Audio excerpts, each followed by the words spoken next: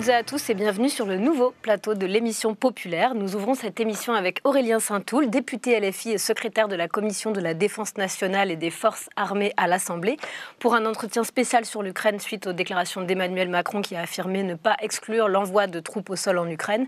Nous reviendrons avec toi Aurélien sur cette déclaration irresponsable qui implique une escalade guerrière.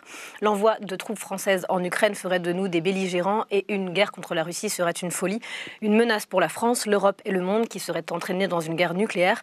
L'heure est à la négociation pour la paix en Ukraine. Suite à cet entretien, nous accueillerons en plateau trois autres intervenants. Juliette, créatrice de contenu pour le compte Insta Macho Boulot Dodo. Cassandre, streamer chez Zawaprod. Et Andy Kerbra, député LFI NUPS. Pour une partie sur la révolution MeToo que nous vivons actuellement, notamment à travers la prise de parole de nombreuses femmes dans le milieu du cinéma. Enfin, Clément Verdet, co-animateur des groupes d'action La France Insoumise et Antoine Salès-Papou, responsable de l'école de formation de l'Institut La nous rejoindront pour parler des actions de l'AFI sur tout le territoire. Les militants se mobilisent et sont en campagne pour l'inscription des citoyens sur les listes électorales. Et l'Institut La vient de boucler un week-end intense de stages régionaux de formation militante. L'occasion de parler avec Antoine et nos invités de la bataille culturelle à laquelle nous prenons toute notre part. L'émission populaire, c'est parti. On est ensemble pour une heure. N'hésitez pas à poser vos questions dans le chat pour que l'on puisse les faire remonter en direct et on commence notre première partie avec une vidéo.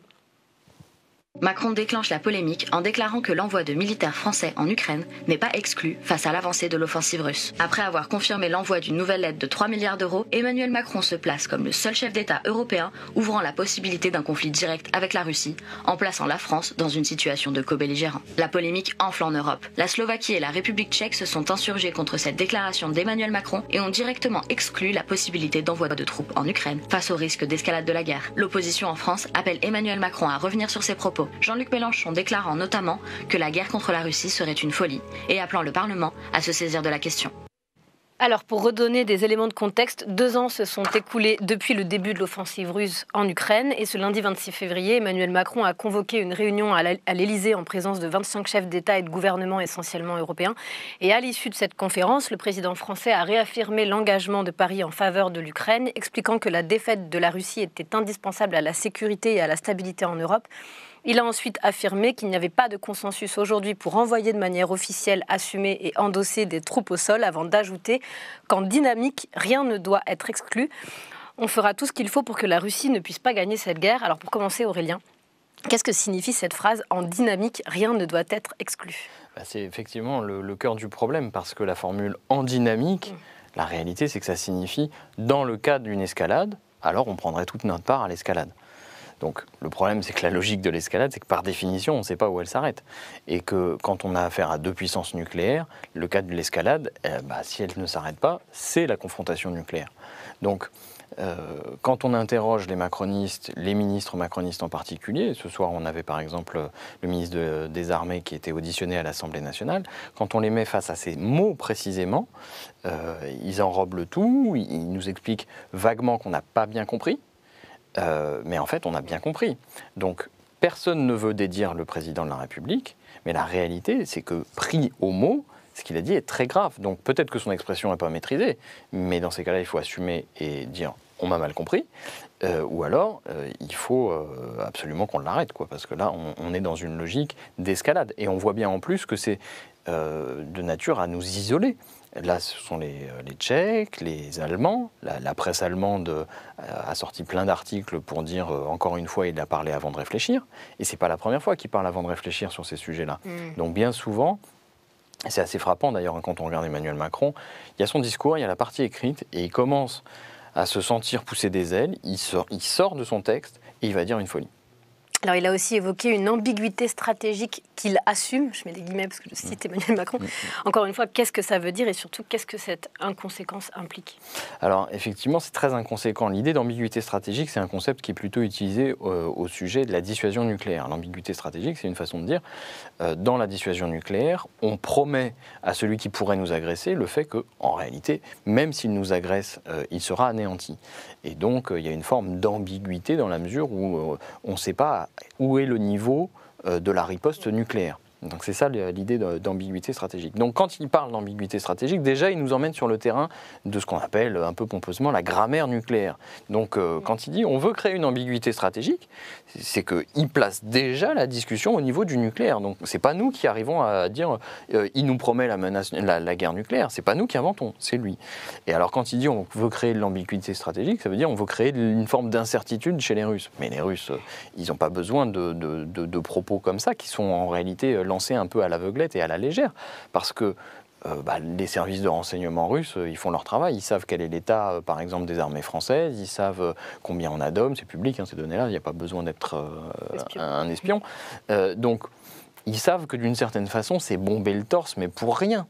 Donc euh, après, ils jouent sur du velours, ils peuvent tranquillement dire, euh, mais en fait, quand Macron parle, ça n'a pas de portée. Quand le président de la République d'un pays dit quelque chose, ça devrait avoir une portée. Donc je pense que c'est encore plus dangereux d'une certaine façon, parce que ça démonétise, ça décrédibilise, ça discrédite, moi je préfère discréditer, ça discrédite euh, la, parole de la France. Donc ça, vraiment, ça n'a pas de sens, l'ambiguïté stratégique, c'est une notion un peu précise qu'il faut, et il ne faut pas en parler à tort et à travers.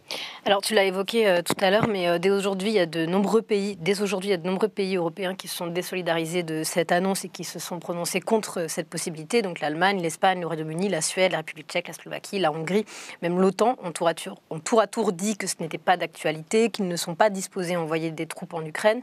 Je vais citer aussi le chancelier allemand Olaf Scholz qui a déclaré euh, qu'il n'y aura aucune troupe au sol, aucun soldat envoyé ni par les États européens ni par les États de l'OTAN sur le sol ukrainien.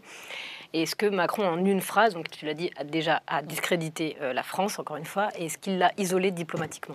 Alors, manifestement, oui. Euh, il y a quelque chose qui me frappe, c'est que les ministres eux-mêmes qui ont été euh, interpellés cet après-midi, c'est Bastien Lachaud qui, aux questions au gouvernement, a interpellé Gabriel Attal. C'est Stéphane Séjourné qui a répondu globalement en bafouillant. Et quand Gabriel Attal s'est exprimé sur le sujet, et ensuite cet après-midi encore, Sébastien Lecornu, le ministre des Armées, d'abord, ils n'ont pas dit tout à fait la même chose les uns et les autres, mais globalement, ce qu'ils ont dit, c'est soit vous n'avez pas compris, ce qui signifie que si en réalité on n'a pas compris, ça veut dire que dans le fond, ils nous donnent raison. Euh, soit ils disent, euh, dans le cas de Le Cornu, c'était intéressant, ils disaient, en fait, c'était pas de ça dont il parlait. Il faisait allusion à une proposition de la Pologne euh, d'envoyer éventuellement des conseillers pour déminer le, terrain, etc. En gros, c'est pas très agressif. Mais Mais c'est pas du tout ce que répond Olaf Scholz. Olaf Scholz, euh, il avait des services, l'Allemagne était représentée à la conférence. Donc personne en Europe ou dans le monde ne dit euh, halte au feu, c'est pas ce qui a été dit, euh, ou il faisait allusion à quelque chose qu'on s'était dit auparavant dans la conférence. Donc tout ça, c'est du flanc. On voit qu'ils sont vraiment dans le rétropédalage, ils savent pas comment s'en tirer, et euh, ils essayent de noyer le poisson. Mais de fait, on se retrouve dans une situation où on a un président de la République qui, quand il parle, en fait, bah, les autres euh, chancelleries, euh, ils, se demandent qu'est-ce qui va encore nous sortir comme folie, parce qu'il va falloir qu'on se repositionne à chaque fois. Donc ça pose un vrai problème. Alors il y a un mois, Macron était aussi en déplacement en Suède, où il a affirmé que la France a la responsabilité de mettre sa capacité de dissuasion nucléaire à la disposition de l'Europe. Alors encore une fois, qu'est-ce que ça veut dire et en quoi cette déclaration s'inscrit dans l'escalade guerrière voulue par Macron? Alors encore une fois, euh, moi j'ai interpellé le Cornu ce, soir sur le sujet, euh, en disant peut-être qu'il a la langue qui a fourché on veut bien essayer de. Enfin, c'est un sujet grave, hein, on ne veut pas se lancer dans euh, l'idée qu'on euh, a un président de la République qui dit n'importe quoi sur la dissuasion nucléaire. Mais en l'occurrence, il est à l'étranger, il fait un discours euh, en anglais, peut-être qu'il ne maîtrise pas toutes les subtilités de l'anglais après tout, mais il, aurait mieux fait de tenir sa langue. Qu'est-ce qu'il dit? Il dit une phrase qui est relativement incompréhensible il dit il y a une dimension européenne aux intérêts, intérêts vitaux. Vous savez, la dissuasion nucléaire dit si les intérêts vitaux de la France sont touchés, alors on ripostera d'une manière telle qu'en gros, on, anéantira celui qui nous a agressés. Euh, cette notion d'intérêt vitaux, elle n'est pas définie précisément pour créer cette ambiguïté stratégique, pour qu'on ne puisse pas savoir si euh, euh, envahir un territoire, ça relève de l'intérêt vital ou pas. sinon, bah, les autres pourraient se dire, bon, bah, là, je peux, je peux mettre 500 000 hommes de troupes, mais pas là, ou des, des choses comme ça. Donc la notion d'intérêt vital, elle est floue, et c'est la garantie de la crédibilité de la dissuasion. Alors, déjà, il y a quelques années, euh, en 2020, Macron avait décidé euh, d'avoir une formule pour préciser un, peu davantage ce qu'étaient euh, les intérêts vitaux. Nous, on avait dit que ce n'était pas une très bonne idée. Parce que quand vous commencez à dire ce que c'est, en l'occurrence, il avait dit qu'il y a une dimension européenne aux intérêts vitaux. Allez savoir ce que ça veut dire. Mais on peut se poser des questions. Si on limite au périmètre de l'Europe, on peut se dire, bah, finalement, s'il se passe des trucs hyper graves de l'autre côté de la Méditerranée, on peut dire, bah, de toute façon, ça ne nous regardera jamais. Donc, c'est n'est pas une très bonne méthode. C'est pas gravissime, mais c'est pas du tout une bonne méthode et il aurait mieux fait de rester discret, à mon avis. Mais là, il va encore plus loin. Il va encore plus loin en disant, il répond à, un officier suédois, il lui dit, effectivement, le fait qu'on dispose euh, de l'arme atomique, ça nous donne une certaine responsabilité à l'égard des Européens. Sous-entendu, euh, on pourrait dire qu'on est prêt à utiliser l'arme atomique si nos amis européens se font agresser. Mais ça, ça n'est pas possible du tout. Ça n'existe pas du tout. En fait, c'est un sous-entendu sur la notion de parapluie nucléaire. Mais nous, en tant que Français, on n'a jamais cru à l'idée de parapluie nucléaire. Les Américains proposent un parapluie nucléaire au sein de l'OTAN euh, aux membres de l'Union européenne, enfin aux Européens qui sont membres de l'OTAN. Mais nous, on s'est jamais dit, ah oh bah oui, on va pouvoir se mettre à l'abri du parapluie nucléaire américain. C'est une notion à laquelle on ne croit pas depuis, euh, bah, depuis De Gaulle en réalité. Et là, il sous-entend que contrairement à tout ce qu'on a toujours pensé nous en tant que Français, à savoir que l'idée qu'un jour un État pourrait souverainement décider de rentrer dans, le, dans un conflit nucléaire au service de quelqu'un d'autre, hmm. euh, eh bien il dit bah, peut-être qu'après tout ça pourrait exister. Il le laisse entendre. Et évidemment, euh, bah, c'est une rupture parce que euh, qui décide? En fait, l'idée d'intérêt vitaux, c'est qu'au bout du compte, le seul qui décide de ça, c'est le président. Et dans notre modèle de la Ve République, il peut le faire parce qu'il a la légitimité maximale, parce que c'est le peuple, euh, le scrutin, euh, le suffrage universel direct qui lui donne une, une, légitimité particulière. Vous imaginez que demain, euh, le président de la République va se gratter la tête en se disant ah bah si on rentre quelque part dans un pays européen, s'il y a un pays européen qui se fait agresser d'une façon ou d'une autre, bah on a la responsabilité de réagir et peut-être au niveau nucléaire. Mais qui croit que c'est possible? Donc c'est une façon euh, d'affaiblir encore une fois et de discréditer la parole du président de la République au, euh, sujet de la dissuasion nucléaire. Et comme le disent régulièrement les experts, la, dissuasion nucléaire, elle est crédible, elle est sérieuse. D'abord quand on sait que techniquement ça marche. Bon, ça de ce côté-là, on sait que pour l'instant ça marche. Mais aussi quand on sait que euh, l'autorité politique est ferme sur ses appuis, elle a les idées claires, et que par ailleurs, bah, elle est sûre que le moment venu, bah, elle ne faiblirait pas. Là, en créant ce brouillage, bah, elle nous met en danger. Et pourquoi il fait ça? Il fait ça, alors probablement parce que euh, en ce moment, il, essaye de garder une forme de leadership en Europe, parce que euh, évidemment, il y a la crainte de voir l'OTAN, euh, enfin les, Trump gagner aux États-Unis. On se dit peut-être que dans ces cas-là, les Américains seraient moins investis en Europe, et donc voilà, d'une certaine façon, il essaye d'en faire une monnaie d'échange, mais ça, mais ça ne tient pas. Et en plus, il y a quelque chose d'important à avoir à l'esprit, c'est que ce serait illégal.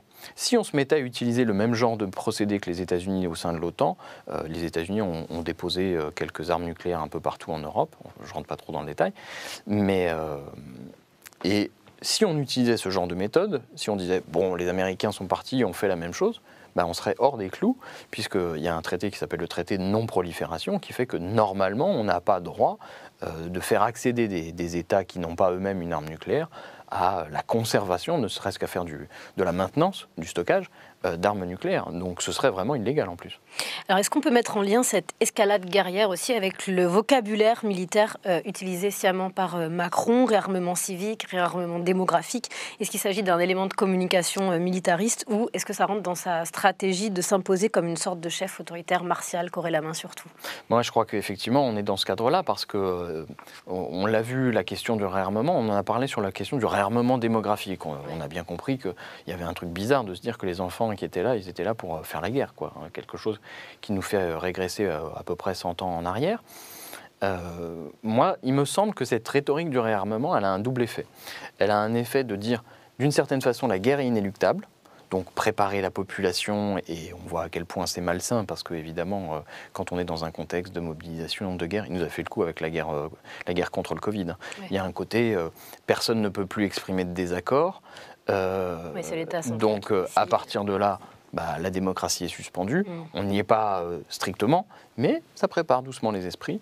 Et puis il y a un autre élément, c'est que quand on parle de réarmement, quand on parle de guerre à venir, non seulement c'est inéluctable, mais paradoxalement c'est aussi indéfini. Ça n'arrête pas. Mm. Donc quoi qu'il arrive, on est toujours déjà dans la guerre.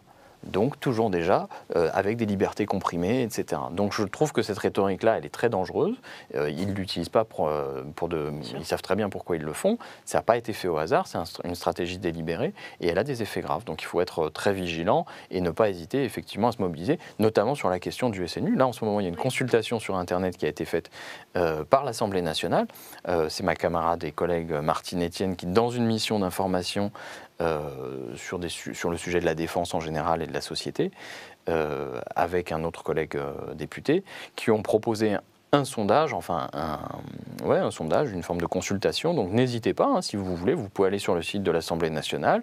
Vous allez faire sauter les serveurs peut-être, mais euh, parce qu'ils ne sont pas hyper robustes, mais vous avez la possibilité d'aller dire, bah non, le SNU, en fait, on n'en veut pas. Euh, cette façon euh, de mélanger un peu tout, la colonie de vacances, les, la, la, défense, la mixité sociale, etc., et que tout ça coûte hyper cher et, ne produira aucun des effets escomptés, si ce n'est éventuellement l'embrigadement, eh ben on n'en veut pas. Donc n'hésitez pas à aller sur le site de l'Assemblée nationale, ça sera euh, très utile. Alors, suite à la demande du groupe parlementaire euh, insoumis, un débat un débat suivi d'un vote sera organisé euh, à l'Assemblée. Enfin, le Parlement est saisi sur cette question. Est-ce que tu peux nous en dire plus?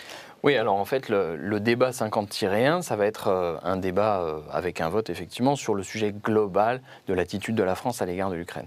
En fait, il se trouve qu'il y a dix jours, il y a eu un, accord qui a été signé entre la France et l'Ukraine, donc en l'occurrence c'était Macron et Zelensky. Euh, alors maintenant ils précisent, ils nous disent ah non, ce n'est pas un traité. Ce n'est pas un traité, c'est en gros c'est de la communication politique. Si c'était un traité, ça voudrait dire que l'Assemblée nationale est obligée de le ratifier. Donc c'était plutôt de l'ordre de la communication pour essayer de mettre en, scène le rapprochement ou en tout cas le soutien et, voilà. En revanche, je crois qu'il y, donc, il y aura une discussion, un débat sur le, sur le sujet, on pourra évoquer nos positions, mais dans les faits, euh, ça, ça, ne changera pas grand-chose. En revanche, il y a un point qui me paraît extrêmement important, c'est la question de l'adhésion à l'OTAN et à l'UE. Parce que ce qui est contenu aussi dans, ces, euh, dans cet accord-là, c'est de dire, euh, bon, la perspective de l'adhésion à l'OTAN nous paraît une très bonne chose. Ben non, ce n'est pas notre cas. On ne pense pas que l'adhésion à l'OTAN soit de nature, en gros, à ouvrir des négociations et, à, peut-être faire déboucher sur la paix. On n'y est pas encore, hein, mais il faut quand même réfléchir euh, à ce genre de choses. Et puis, surtout, j'ai envie de dire, sur la question de l'adhésion à l'UE, euh, la perspective est extrêmement lointaine. personne ne peut dire que ça n'arrivera jamais avant, mais dans son temps, quoi. Parce qu'on a affaire à un pays qui est déjà la première armée d'Europe, de fait. On a un marché, on a un niveau de rémunération qui euh, déséquilibrerait la totalité de l'Union européenne. Hmm. Et je ne parle pas de l'agriculture, dont tout le monde comprend que, évidemment, si on se retrouve avec des produits agricoles euh, ukrainiens sur le marché européen, je ne vous parle pas de la tête de, l'agriculture française. Donc ce pas des perspectives sérieuses. Quant aux, normes démocratiques, aux standards, etc., bien sûr, euh, on n'est pas tout à fait au niveau de corruption et de violence de, la Russie, mais la guerre n'a pas fait disparaître tous les problèmes qui existaient auparavant, de corruption, etc. Donc hmm. on n'a pas un pays qui qui est au standard. Et affirmer comme ça benoîtement que, bon, parce que les Ukraines sont victimes d'une agression, ce qui est vrai, ils ont leur place dans l'Union européenne, c'est aller un peu vite en besogne. Hmm. On a dans les commentaires, parce que ça y est, on essaye de se rendre web compatible, donc on a notre écran derrière où on fait euh, défiler les commentaires et on voit beaucoup de réflexions, enfin de réactions sur la sixième République. Est-ce que ce serait euh, une solution, euh, une sortie de crise démocratique Oui, effectivement, la sixième République, c'est un élément fondamental parce qu'aujourd'hui, on est dans une situation où tout remonte au président et tout redescend du président. Donc il est dans une situation euh, où le Parlement, euh, nous, on est réduit à, très peu de choses. Euh, là, même l'exécutif, même le ministre, il n'est pas venu voir la commission de la défense depuis un an. Il est venu à certaines occasions pour parler strictement du budget, mais par contre, faire un point, il y a quand même pas mal de choses qui se passent. Au mois d'août, on a trois soldats qui ont été tués, etc. Donc on est dans un système institutionnel où en fait les représentants du peuple ont très, peu de marge de manœuvre. Ils ne sont pas, euh, par exemple, habilités à plein de choses. Le secret défense nous est opposé dans plein de circonstances. Donc euh, il y a un vrai besoin de donner une respiration démocratique à ce pays sur ces sujets qui sont fondamentaux. Et eh ben en fait, tous décident, mais euh, dans un cabinet avec un président de la République et quelques conseillers. On a aussi un Jean Dalbrut qui nous demande que dire de la position de Glucksmann. Alors la position de Glucksmann, elle, est globalement alignée. Glucksmann, il a une tradition d'interventionnisme euh, et d'alignement sur les positions américaines. Donc c'était le cas évidemment quand il est parti en Géorgie. Il, a défendu l'idée de, l'invasion de l'Irak, etc. Donc il est dans une, position, dans une position assez néoconservatrice où il considère que c'est la lutte des démocraties contre les dictatures et donc à la fin c'est la lutte du bien contre le mal. Le problème c'est que quand on a une approche comme celle-là, lutte contre le bien, du bien contre le mal, bah, le mal il faut l'anéantir. Donc c'est forcément une posture très jusqu'au boutiste et qui finit par dire euh, bah non, il n'y aura pas de négociation, on peut pas. Euh, mais s'il n'y a pas de négociation, c'est quoi la perspective? Il faut être, sérieux et conséquent. Est-ce qu'il euh, faut que les Ukrainiens franchissent carrément la frontière, alors boutent les Russes hors d'Ukraine, pourquoi pas, mais qu'ensuite quoi? Ils vont jusqu'à Moscou, ils vont s'assurer que Poutine ne reste pas le, le chef d'État de la Russie, etc ces perspectives-là, elles sont très très incertaines. Donc euh, quand on nous oppose euh, en général euh, des, considérations morales sur le fait que Poutine est méchant, mauvais, bien sûr, on a remarqué, les libertés sont suspendues, on soutient les opposants russes, on travaille à les faire venir en France quand ils ont besoin de, quand il faut les sauver, on l'a fait. C'est très important. Mais la solution, pas, on ne peut pas être dans un manichéisme comme les Glucksmann de dire non mais c'est le mal absolu, donc, euh, donc quoi On va attendre l'anéantissement de la Russie. C'est pas, pas sérieux, quoi. Alors on me dit aussi dans les commentaires qu'il y en a qui demandent où est-ce que euh, on peut aller euh, pour ce que tu as proposé sur le SNU, c'est sur les serveurs de l'Assemblée, sur le site de l'Assemblée Oui, c'est sur le site de l'Assemblée nationale. Il doit y avoir une partie de consultation. Alors je ne suis pas allé récemment, je ne peux pas exactement vous le, vous le donner, mais peut-être que après, euh, dans le fil de l'émission, on peut vous envoyer un petit lien ou le mettre sur, le, sur le chat. on va le mettre sur, On va essayer de faire ça. Mais, je pense que c'est intéressant parce qu'ils euh, sont assez déconnectés pour le coup. Ils pensent vraiment que le SNU, les gens en veulent. Et donc là, la, consultation a commencé. Euh, ils se sont rendus compte que bah non, les gens n'en veulent pas, qu'il y a une vraie mobilisation sur ce sujet.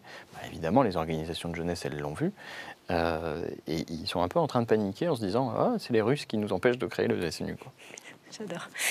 Merci beaucoup Aurélien bah, d'être euh, venu euh, sur le nouveau plateau de l'émission populaire. Je te libère et vont entrer les nouveaux euh, invités. Tu peux y aller, on fait tout en direct. On fait tout en direct, ok. voilà, on a fait aussi, on a l'affiche paix sur notre, sur notre plateau. Et on a différents tracks qu'on vous montrera aussi après. Et tout de suite, j'accueille alors, qui je vais voir arriver en premier? Juliette Bienvenue Juliette Tu peux t'asseoir ici. Ça marche. Juliette, qui est la créatrice de contenu féministe Entrée-Entrée pour le compte Macho Boulot Dodo qu'on vous recommande. Cassandre, qui était là il y a deux semaines, mais qui vient ici très bien. Et euh, Andy Cabra, donc Cassandre, tu es streamer chez Zawa Prod. Et Andy Cabra, tu es député à la fille et membre de la commission des lois. Merci à tous les trois de venir sur euh, le plateau de l'émission populaire pour cette partie que l'on a appelée d'Adèle à Judith. Qu'est-ce qu'on attend? Pour foutre le feu, je m'étais ajouté. Merci à tous les trois d'être là. On va dans cette séquence parler de la révolution MeToo que nous vivons actuellement. Et quoi de mieux pour lancer cette partie que de diffuser un extrait de la vidéo de Judith Godrèche au César? On regarde. Depuis quelque temps, la parole se délie. L'image de nos pères idéalisés s'écorche. Le pouvoir semble presque tanguer. Serait-il possible que nous puissions regarder la vérité en face, prendre nos responsabilités? Être les acteurs, les actrices d'un univers qui se remet en question Depuis quelque temps, je parle, je parle, mais je ne vous entends pas. Ou à peine. Où êtes-vous? Que dites-vous? Un chuchotement, un demi-mot. Ça serait déjà ça, dit le petit chaperon rouge.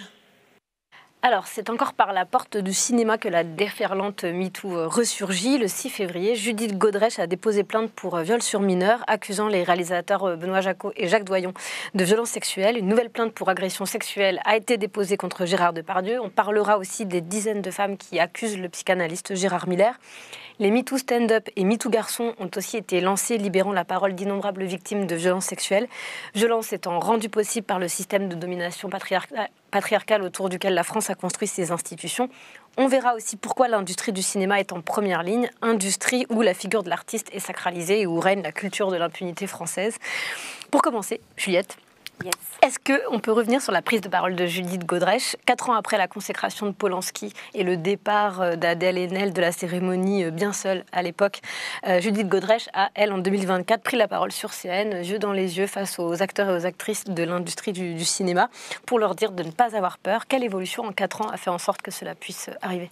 Bah déjà, euh, là, ce discours, c'était un peu un point culminant euh, après des semaines de prise de parole où elle était dans les médias, d'abord pour faire la promo de sa série euh, Icon of French Cinema, au début sans nommer personne. Puis petit à petit, il y a eu chez elle, je pense, un, un déclic, notamment grâce à ce documentaire réalisé justement par Gérard Miller, dont on pourra reparler, grand ami de Benoît Jacot, accusé par plus d'une cinquantaine de femmes, je crois, aujourd'hui, euh, de violences sexuelles et de, viol, et de viols. Et du coup, voilà, on a vu la parole de Gilles Godrèche se libérer déjà euh, sur les plateaux. Et c'est hyper intéressant parce que ça a permis de parler en fait euh, de notions de consentement, euh, de notions d'emprise. Donc ces sujets-là ont occupé un petit peu euh, les plateaux, les médias, ce qui était euh, assez neuf, assez nouveau et, et vraiment intéressant. Ça a eu un effet de vague parce que d'autres femmes aussi ont commencé à prendre la parole contre Benoît Jacot, comme Isilde Lebesco, comme Julia Roy, qui ont partagé, qui ont dit qu'elles avaient vécu des choses similaires. Il y a eu des plaintes aussi qui ont été déposées par Isilde Lebesco. Ouais.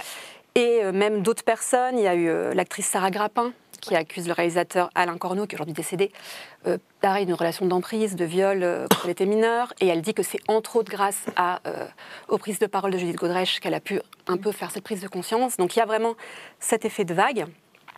Euh, Judith Godrèche aussi est un peu devenue, peut-être de façon très inattendue, je ne pense pas qu'elle avait prévu ça euh, quand elle préparait sa série, euh, qui est quand même sur son vécu, mais qui est de façon assez euh, poétique, Ouais, Icon of French Cinema, qui est très bien, d'ailleurs, sur Arte. qui peut se voir sur Arte, effectivement. je ne pense pas qu'elle avait prévu de devenir la porte-parole des femmes et des enfants victimes de violences sexuelles, mais c'est un peu ce rôle qu'elle est en train d'assumer maintenant. C'est une cause qui maintenant devient un petit peu une cause qui, qui l'habite. Elle, avait, elle a créé une adresse mail Ouais. où elle recueille la parole, euh, les témoignages et la parole des victimes. Elle dit qu'elle en est à plusieurs milliers euh, de témoignages. Elle en parle d'ailleurs dans son discours. Donc il y a quelque chose qui monte en fait de plusieurs semaines autour, euh, autour de ces prises de parole à elle et qui culmine du coup dans, dans ce discours où elle est invitée euh, sur le plateau et on lui fait une standing ovation. Donc dans le milieu du cinéma, ce qui est un monde de différence euh, par rapport à il y a à peine 4 ans euh, où euh, cette même, ce même milieu sacré Polanski, euh, meilleur réalisateur, donc reconnu coupable quand même de viol et en cavale des États-Unis, comme on le sait, et où Adèle Haenel quittait la salle effectivement sans soutien ou très peu, prêchait un peu dans le désert à Ouais. l'époque. Il n'était pas du tout soutenu. En plus, après ça, elle s'est pris un backlash des médiatique euh, hyper important. Euh, vraiment, elle a été un peu euh, stigmatisée, diabolisée dans ce milieu-là, et euh, d'ailleurs, elle s'est un peu éloignée du cinéma. Mais en fait, on lui doit énormément. C'est-à-dire que c'est aussi parce qu'elle a eu ce courage-là d'être un peu seule, euh, à vraiment à, à- à essuyer les pots cassés. Mm. Il y a aussi d'autres prises de parole, je pense, qui ont permis ça, des Charlotte Arnoux, qui, qui ont accusé Depardieu de viol aussi et qui n'ont pas été très soutenues du tout par le milieu. Donc c'est un peu toutes ces, ces femmes qui ont vraiment ouvert la voie, qui ont plus, disons, mis des coups de pied euh, dans les portes, euh, qui ont fait que euh, des choses ont un petit peu évolué et qu'aujourd'hui, euh, ce milieu décide d'inviter euh, Judith Godrèche et de, la, et de célébrer sa parole, en tout cas en apparence.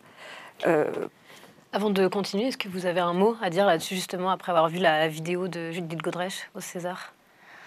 Moi, euh, comme je disais tout à l'heure, moi j'ai beaucoup tendance à être un peu pessimiste et euh, ma grande crainte, c'est, euh, je pense que le milieu du cinéma français ne pouvait pas se permettre d'avoir euh, un nouvel événement à Delenel avec euh, cette fameuse scène d'Anne qui quitte la salle, le scandale qui commence, etc. Un petit peu où tout ça avait commencé un peu à gronder.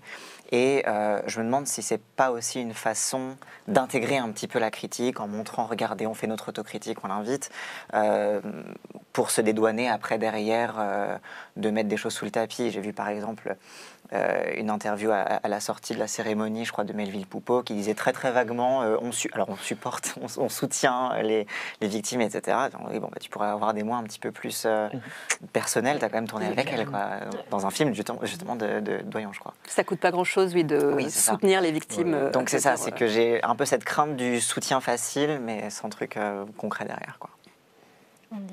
Moi, c'était c'est plus complexe parce que la prise de parole de Judith Godrèche, qui amène la prise de parole de Rien Week, amène à ma prise de position et ma prise de parole de dire ce qui m'est arrivé. Donc, euh, il y a forcément un effet plus intime, euh, plus libérateur aussi euh, du discours de Judith.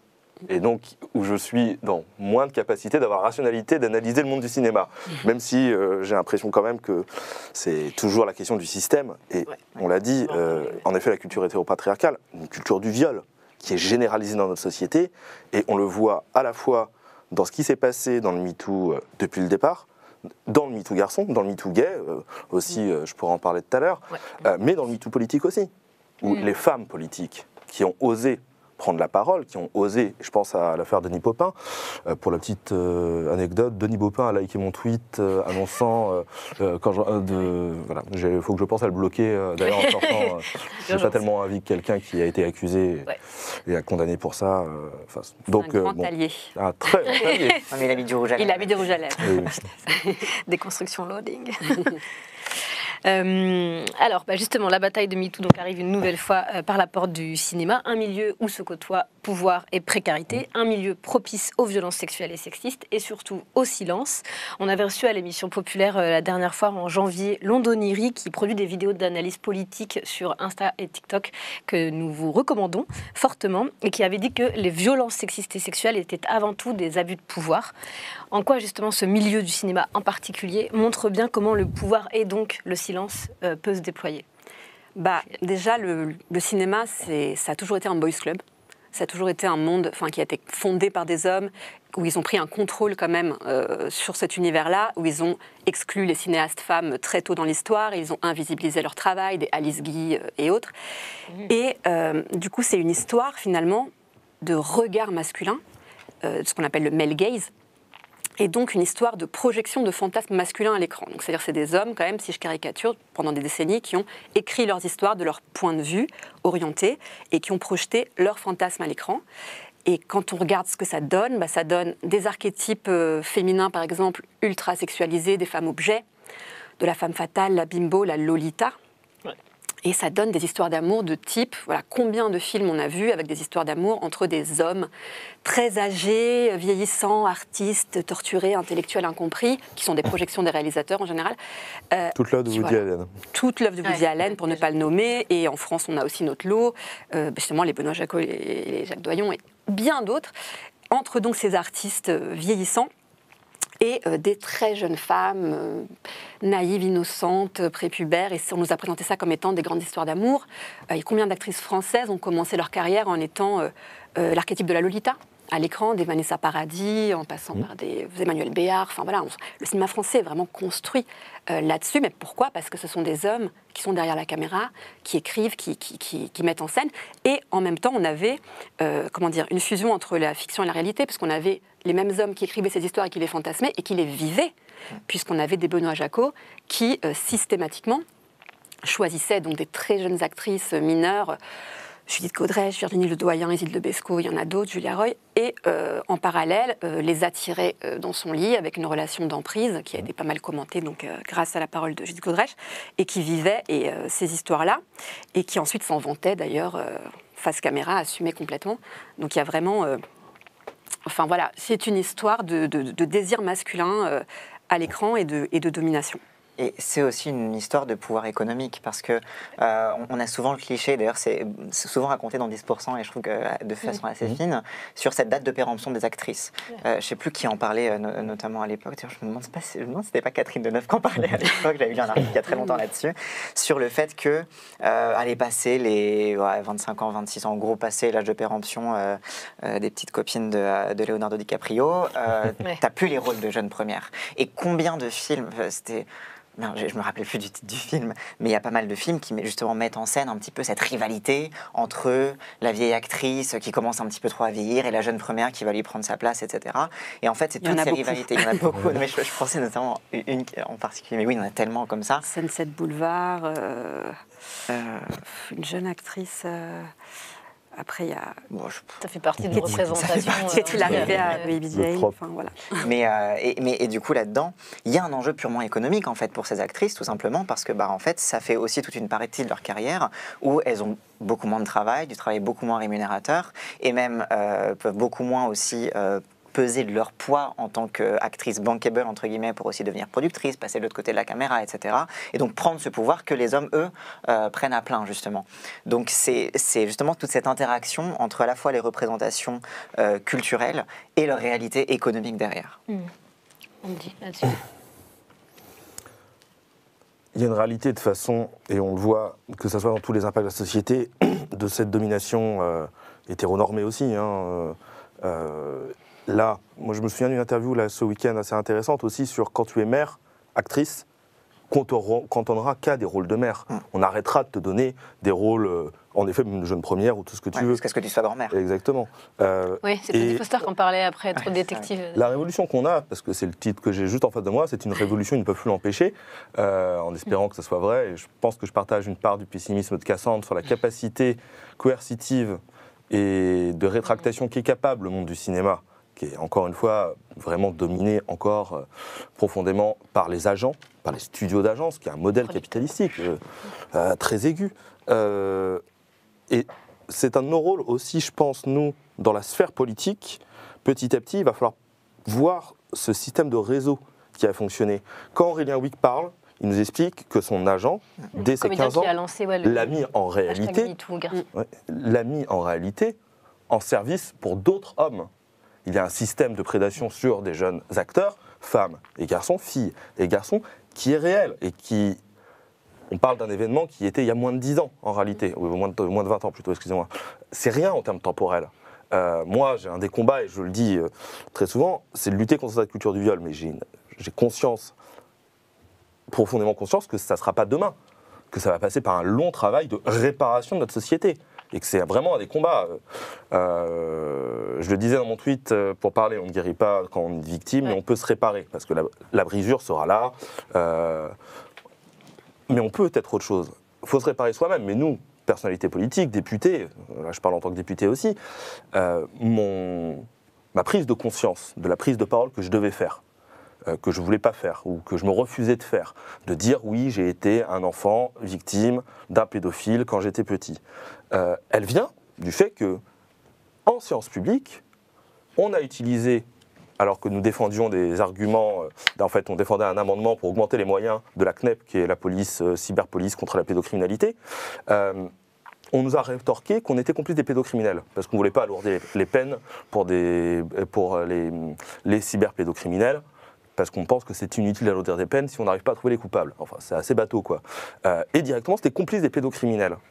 Euh, mais pendant ce temps, on n'a pas de grande de arrestation de pédocriminels. Mm. On casse notre service public de la police, je pense à la police judiciaire par exemple, qui faisait ce travail. Euh, et de balancer à une victime, c'est là que moi j'ai vrillé. hein. J'ai cassé le micro en séance, donc euh, c'était quand même. euh, voilà, merci les services de l'Assemblée nationale. Mais là, ça m'a fait prendre conscience que, oui, à côté de ça, bah, par exemple, là, Bruno Le Maire a retiré 20 millions à la protection des personnes. Est-ce que je pourrais rebondir sur ce que tu parlais du coup de, de cette culture du viol et de cette culture du réseau aussi, et de voir un peu les, les racines euh, rapidement de d'où ça vient, parce qu'en fait on est quand même dans un pays où il y a une culture effectivement de la pédocriminalité, c'est-à-dire où vraiment il y a eu une complaisance euh, dans les milieux intellectuels, artistiques, bourgeois euh, français depuis euh, cette France post-mai 68, où on était dans cette ambiance vraiment libération sexuelle, donc interdit d'interdire, jouissez sans, entrave, tous ces slogans. Et en fait, à cette époque-là, déjà, la pédocriminalité s'était vue comme quelque chose finalement d'un peu subversif, d'un petit peu sulfureux, et c'était extrêmement, bah, parfois carrément défendu. On avait des, des Gabriel Matzneff, cet auteur qui écrivait sur euh, la manière dont il violait euh, des enfants et s'en vantait sur les plateaux, qui était accueilli chez Bernard Pivot à bras ouverts à plusieurs reprises. On avait euh, des tribunes qui étaient signées pour essayer de décriminaliser les rapports sexuels avec les mineurs, signées par des Sartre ou des Beauvoir. Donc on avait vraiment, on était vraiment dans, enfin on était, je ne sais pas pourquoi je mets forcément le passé en l'occurrence, mais il y a en France une histoire de complaisance envers, envers cette pédocriminalité, si c'est, surtout si c'est dans les milieux artistiques, avec cette figure aussi euh, de l'artiste, euh, cette sacralisation quand même de l'artiste, euh, du, monstre sacré, qui, aurait un peu tous les droits à qui on laisserait passer toutes sortes de choses, que ce soit Polanski, Depardieu, bah, c'est Gérard. On peut, voilà, il met les mains dans les culottes, mais, mais c'est Gérard. Regardez les films. Comme dit notre président, il rend fier la France. On est quand même dans ce pays-là où le président prend publiquement la défense d'un homme accusé de viol. Donc clairement, il y a un problème effectivement systémique. Et Judith Godrèche, dans son discours, elle met le cinéma face à ça, et ça date pas d'hier. Je rebondis juste parce que j'ai rencontré, euh, au moment euh, des révélations, façon de parler, vu que c'était quelque chose qui était quand même connu, euh, sur Gérard Depardieu, j'ai rencontré une représentante de la CGT Spectacle dans mon département qui assurait des formations auprès, une maquilleuse, auprès des futures maquilleuses dans le monde du cinéma. parce que là, on a parlé des acteurs, hein, beaucoup de cette, de, des stars. Mais il y a réalité d'une utilisation aussi du personnel annexe, du technicien, euh, de la technicienne, hein, malheureusement, des maquilleuses. Et elle avait en charge, mm, mm. et heureusement que les syndicats sont là, de la formation aussi, de la prévention. Mais une peur réelle et une acceptation. Cette violence que les acteurs vont nous imposer fait partie du système. C'est toujours la question hein, quand on est victime, ou potentielle victime, ou proie, donc c'est cette acceptation parce que c'est l'obligation pour gagner sa vie, pour survivre, etc. etc. Moi, euh, c'était l'obligation de me laisser faire euh, parce que euh, ma vie en dépendait à proprement parler, vu que j'étais un enfant, et ainsi de suite, ainsi de suite. Il y a la réalité matérielle qui compte énormément dans ce rapport de prédation. Mais c'est en ça qu'on voit que les violences sexuelles, c'est justement une affaire de domination. Parce que quand on voit des mecs comme Depardieu, euh, on, essaie de nous vendre un mythe de l'homme qui a des pulsions, qui ne peut pas se contrôler, ou voilà, bah, c'est une fatalité, voilà, c'est Gérard. Euh, sauf que Depardieu, justement, il peut très bien se contrôler, puisqu'il ne va pas s'en prendre à ses collègues euh, stars assez, voilà, bah, voilà, qui elles vont prendre sa défense en disant mais moi il ne m'a jamais rien fait. Euh, J'avais une imitation. ah non mais Gérard. Enfin euh, vraiment parce qu'elles ont dit mais elles comprennent même pas. Enfin il nous a pas touchés. Évidemment qu'il les a pas touchés parce qu'il n'est pas complètement stupide et donc il ne s'en prend pas à ses collègues qui ont du pouvoir et de l'influence et il va chercher tel un prédateur les proies vulnérables. Et comme tu le dis, donc sur un plateau, c'est qui? Alors soit c'est des très jeunes actrices qui débutent, qui aujourd'hui d'ailleurs portent plainte contre lui, s'expriment contre lui, euh, qui sont pas connues, qui ont tout à perdre, qui ont leur carrière à perdre face à un monstre sacré comme lui. Soit ce sont des maquilleuses, effectivement des techniciennes. Il y en a de plus en plus qui ont parlé. Elles racontent toutes le même modus operandi. Et c'est corroboré maintenant par des comédiennes de renom comme Anouk Grimbert, Sophie Marceau, Vaina Jokante, qui ont pris la parole pour dire Mais bien sûr, on, on le savait, on l'a. Karen Viard aussi, je crois. c'est possible. Euh, un plotage. Elle, a elle a dénoncé un peu un plotage, mais surtout elle a parlé du fait de ne pas voir parce qu'on ne s'en rend pas compte. Enfin, un petit mm. peu cette espèce de d'aveuglement généralisé sur de déni. ouais, c'est ça, de déni, un peu de non-pensée autour de ça. On retrouve dans les familles, euh, malheureusement aussi dans le rapport incestueux, euh, la personne, quelle qu'elle soit, qui refuse de voir alors qu'elle est présente. Non, vas-y, vas-y. En fait, c'est ça justement là où je voulais en venir, c'est que euh, il y, a, y, a, toujours une utilisation, ce que je disais tout à l'heure sur l'utilisation un petit peu de ce trope de la rivalité féminine, etc. Il y a aussi une mm. utilisation dans la prédation, notamment sur les enfants, que ce soit les jeunes actrices ou que ce soit les, gens, les enfants qui ne sont pas acteurs ou actrices, euh, des, justement des contradictions de la vie, la vie d'enfant, de la vie d'adolescent. Notamment, euh, bah, la crise d'adolescence, qu'est-ce que c'est si ce n'est une demande de reconnaissance, d'être à égalité avec ses parents, une demande de reconnaissance auprès de ses parents, qu'on devient adulte, qu'on peut commencer à réfléchir, etc. Et les prédateurs ont tendance à exploiter justement cette demande de reconnaissance en disant tu es mature pour ton âge, je te vois, tu es, je te vois, ne t'inquiète pas, tes parents ont tort, etc. Tu es spécial. C'est ça exactement. Et en fait, c'est toujours dans les à la fois dans les, dans les failles de la domination masculine et dans les failles de la domination adulte que se nie justement dans, dans cette, utilisation justement à leur, euh, à leur profit en fait. Euh, parce que bah, par exemple, c'est quoi une revendication pour laquelle on se fait régulièrement euh, accuser de soutenir les pédophiles? C'est une, une, revendication sur simplement l'éducation sexuelle. Donc c'est des choses sur lesquelles en fait c'est précisément donner les armes pour que ces fameuses contradictions de l'âge adolescent n'en soient plus et que les, que, voilà, que les, que les enfants soient bon, à minima informés, mais aussi soit dans des situations où ils soient émancipés de cette domination adulte vis-à-vis de ça. avant de revenir sur le, MeToo euh, garçon, je voulais euh, qu'on termine aussi sur euh, le MeToo dans le milieu du cinéma. comment on peut expliquer que la France a raté le premier coche de MeToo? Contrairement par exemple aux États-Unis, est-ce que c'est ce que tu disais tout à l'heure par rapport au male gaze, enfin de, le boys club post 68 art avec une espèce de, génie masculin et de liberté Pour moi, il y a un mélange de plein de choses qui c'est assez passionnant parce que tu as effectivement, bon, tu as déjà donc effectivement le côté boys club, mais ça c'est pareil aux États-Unis finalement. Il y a cette culture de la pédocriminalité, je pense, qui est quand même en France, il y a quelque chose comme. Mm. Il y a quelque chose euh, qui s'est vraiment défendu bec et ongles. Et euh, quand on voit la réaction en fait au premier MeToo, quand c'est euh, c'est plusieurs figures de la culture, dont Catherine Deneuve, signe une tribune pour défendre la liberté d'importuner. Euh, donc à contre-courant total de ce qui se passait dans le monde entier, en disant non, non, non, euh, nous en France, on défend la liberté d'importuner parce que c'est indispensable à une liberté sexuelle. Donc vraiment, là, il y a aussi une volonté d'opposer euh, des États-Unis qui seraient aseptisés, euh, rigides, coincés, puritains.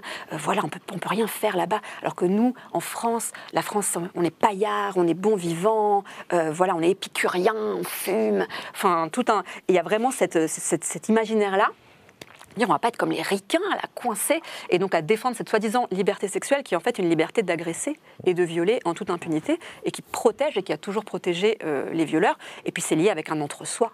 Euh, bourgeois euh, du milieu, c'est-à-dire que les personnes qui signent cette tribune, les personnes qui ont signé la tribune pour protéger deux par Dieu, et qui après beaucoup se sont rétractées, parce que justement, elles ont senti que hmm, peut-être que le vent tourne et que c'est plus aussi cool d'être de ce côté-là. Mais en tout cas, voilà, ces personnes-là, c'est quand même dans l'ensemble des personnes euh, de, ce milieu-là. Il y a quand même une volonté de se protéger les uns les autres très fort. Euh, donc c'est un peu ça. Et ce qu'on disait, le, monstre sacré, euh, intouchable, le génie, le génie toujours masculin parce qu'on n'entend pas de, ce genre de discours sur des femmes, à qui voilà, il faut pardonner des écarts au nom de l'art. Et ça, ça va de Picasso jusqu'à jusqu'à Polanski. C'est vrai qu'au final, Weinstein, c'était un producteur, donc c'était un port capitaliste quelque part. alors que Depardieu, c'était un grand acteur. Mais moi, moi justement, là-dessus, j'y vois deux choses. Je pense qu'au moment où, la vague MeToo est arrivée en France, alors déjà aux États-Unis, la première vague ou le premier remous MeToo avait déjà pas pris, c'était le fameux hashtag MeToo qui avait été lancé par une journaliste, je crois, afro-américaine. Tamara Burke. C'est ça. Et euh, qui n'avait pas pris avant justement les accusations de Weinstein. Donc je pense qu'aussi qu'en France, on n'avait pas de port assez gros à l'époque. Mmh. Parce que on l'avait mais on ne le savait pas. Alors, on, ça, on l'avait pas encore. on l'avait depuis longtemps. On l'avait très longtemps. Rien dit. En effet, c'est ça. Il n'y a, pas eu de, a pas eu de mouvement de dénonciation ah sur, euh, sur lui spécifiquement. Pas un bruit. Il y avait Matzneff, mais bon, qui le connaît hors des salons bourgeois parisiens, Matzneff, quoi. Genre, bon, il y avait quelques figures comme ça. Pareil, je pense que aussi, euh, d'un autre côté, euh, sur Weinstein, tu avais des grandes actrices qui avaient mm. beaucoup tourné, etc. De l'autre côté, Adèle Haenel, c'était quoi? Bon, oh, c'est une lesbienne qui gueule un peu, qui est un peu gauchiste, tu vois. Donc je pense que tu avais. Il n'y avait pas il n'y a, a pas eu un assez gros port pour qu'on voit ça comme autrement que l'importation d'un truc puritain états-unien. Et aussi, je pense qu'il y a eu un paradoxe à l'intérieur de MeToo, qui est à la fois que MeToo a été rendu possible médiatiquement par la dénonciation du monstre, mais l'essence de MeToo, c'est aussi la banalité du viol. C'est le fait que le hashtag se diffuse partout de façon virale.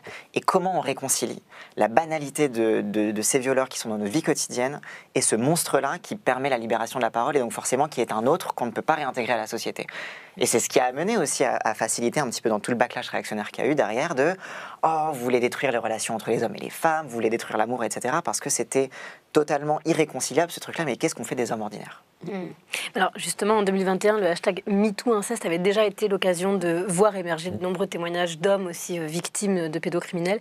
Beaucoup ont témoigné en disant des choses comme euh, un garçon ne se laisse pas faire, il se débat, il voilà, des paroles d'hommes donc longtemps inaudibles. Et justement, c'est ma question est-ce que c'est à cause de ces stéréotypes et ces injonctions à la virilité que ces paroles sont restées longtemps euh, inaudibles? Déjà, malheureusement, il y a eu plusieurs tentatives, hein, que ce soit en effet le MeToo inceste, le MeToo gay aussi, qui a été tenté, qui n'a pas pris dans la communauté. Je suis assez. Et d'ailleurs, c'est ça qui m'a donné le courage, le MeToo garçon. Euh, parce qu'il y a la vague générale, la déferlante du MeToo. Euh, c'est comme j'ai dit, Judith, Aurélien, ça me pousse à le faire. Sinon, je pense que je n'aurais pas fait. Même si je voulais le faire, j'avais la volonté ou, le sentiment ou l'urgence même en fait, euh, qu'en vrai ça me travaillait. Hein. Euh, je ne sais pas s'il n'y avait, pas eu cette déferlante, qui arrive jusqu'à moi, euh, je serais passé à, à, dire. Ensuite, j'ai choisi un fait spécifique. Moi, j'ai choisi euh, une violence euh, pédophile. J'aurais pu être beaucoup plus large. Hein, la culture du viol, c'est ce que je dis, disais ce matin sur France Info. c'est le collègue qui me mettait la main au cul parce que j'avais tous les jours pendant trois ans, parce que il semblait que je lui envoyais des mauvais signaux. le premier rapport sexuel à 14 ans, qui est dans ma découverte sexuelle de mon homosexualité. Euh, et euh, la personne avec qui je fais ça est majeure et profite de la situation. Et donc je me retrouve dans une situation où je ne suis pas consentant et ainsi de suite, ainsi de suite. Euh, et là, ça percute. Là, c'est quand même le, la bonne nouvelle. Et c'est là où quand même, là c'est mon désaccord avec Cassandre, c'est que la société se trouve percutée de manière plus large que ça a été le cas avant. c'est pour ça que je l'ai fait. Sinon, la, la, seule et unique question qui me posait pour moi, c'était est-ce que ça va être utile? Dans le combat politique que nous menons, déjà, quand même, hein, et pour moi-même, quand même ce message, je, le mets vraiment là-bas, euh, mais pour les autres. Et le nombre de témoignages reçus, mais juste en faisant un tweet euh, de personnes qui me disent, moi je ne demande pas le MeToo euh, euh, Twitter. Le MeToo, c'est aussi en parler à tes parents, en fait. En parler 20 ans après, j'ai été victime d'un pédophile. À 14 ans, à 16 ans, à 17 ans, mon conjoint euh, m'a euh, violé euh, plusieurs fois, et d'ailleurs, je ne peux pas déposer plainte. Et ça mène une question politique. Parce que moi, c'est tout- toute ma, ma- ma raison d'être à la fin, c'est quand même d'apporter la question politique centrale. Comment on répare ces victimes dans un système qui est cassé?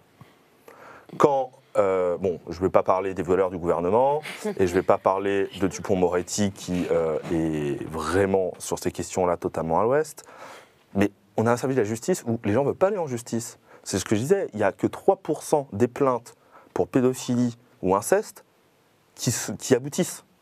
Euh, on le sait tous, enfin, en tant qu'LGBT, euh, on sait qu'on n'a pas envie d'aller porter plainte parce que euh, la police est quand même principalement homophobe. Je vais avoir des problèmes si euh, ça, ça ressort sur les réseaux.